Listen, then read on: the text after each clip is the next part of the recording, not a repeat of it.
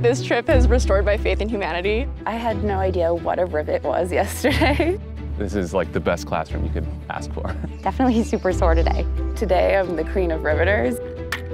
It just sounded like the trip of a lifetime to me, and it was. Oh, I am here in Nepal in Jhagarebesi on a GivePower trek.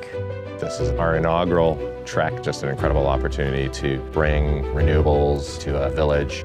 And in this case, something that's really critical for life, which is just access to fresh water. Give Power has been working in Nepal since 2015. By working a lot in this region, we became aware of this community. ए पानीको त एकदमै समस्या थियो पहिला चाहिँ एकदमै होइन साठी पैँसठी अहिले यो चाहिँ धेरै मान्छे यो सिजन चेन्जको कारणले होइन खोला पानीमा के अरे खोलामा पानी नभएको कारणले एकदमै दुःख हुन्छ पानी पर्दा यो अब सबै तल तल अलिअलि आउँछ सिँचाइ र खानको लागि चाहिँ एकदमै दुःख छ We started a discussion with this community about using solar electricity to pump water out of the river uphill that will be used for both irrigation and for drinking. The distance from water source to the pumping site is 700 meters. There was so much infrastructure required to put in a water project. So there was a little bit of pressure going into it that we were going to get it all done in time.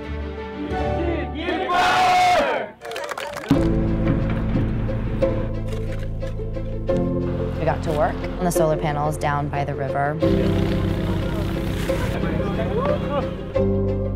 All the local communities, they, they came to dig the well. And we laid down the pipe. Should go all the way up there? Getting hands on with the technology that I market every day was incredibly humbling. Some of us carried the water tanks um, up the mountain to the top. We ran into quite a few obstacles. We kept trying new things and new things.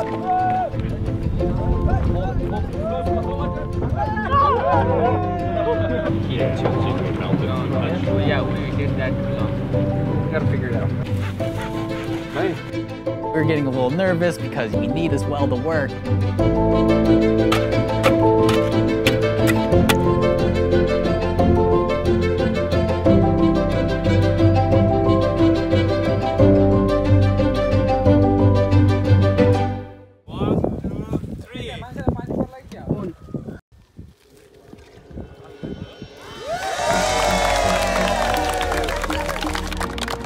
got the job done. उहाँले गर्दा धेरै फाइदा हुन्छ यहाँ सिँचाइमा धेरै खेती हामीले agriculture सम्बन्धी होइन तरकारी It's not just about like solar or water, it's about income generation. And I think it's great. एकदम खुसियाली यो घाम लागे जस्तो भन्नुभयो You know, we really need to make some changes to have a sustainable existence on this planet. This might be a small impact, but you can see how, you know, knowledge and people working together, you know, that can be really powerful.